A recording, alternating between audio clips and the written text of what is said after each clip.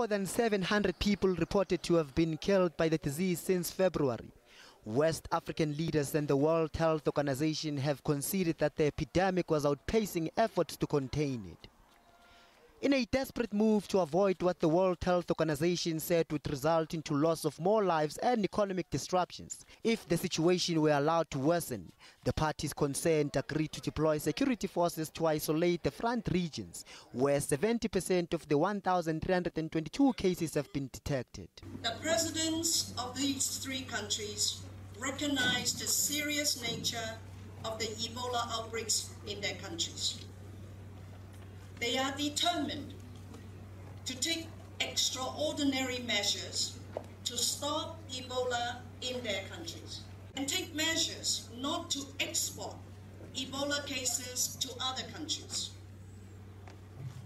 They agree to focus special attention to the cross-border areas, you know, where the three countries, you know, meet. The common borders 70% of the Ebola cases.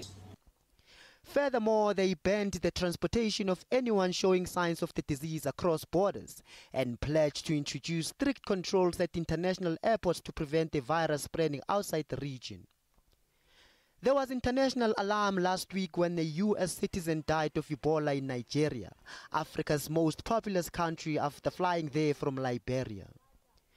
Two people isolated in Lagos after coming into contact with him were released on Friday after they tested negative for the disease. The three leaders also agreed to step up efforts to protect local healthcare workers and encourage them to return to work. And with healthcare systems struggling to cope with the highly infectious disease, which requires careful precautions to stop it from spreading, more than 60 medical workers have lost their lives, hampering efforts to tackle the outbreak.